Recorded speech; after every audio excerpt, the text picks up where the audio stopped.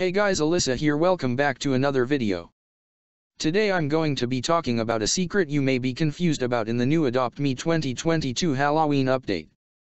I'm sure most of you guys have seen the limited time items in the shop and while looking around you might have stumbled around these pet silhouette shadow things.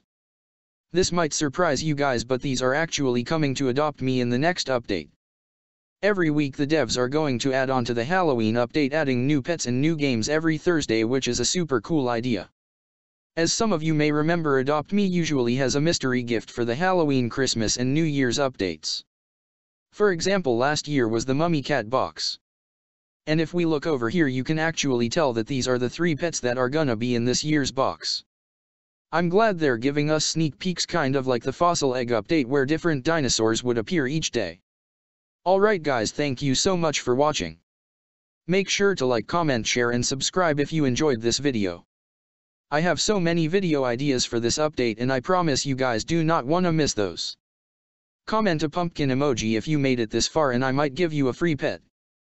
Anyway I appreciate you so much, have a good day. Bye.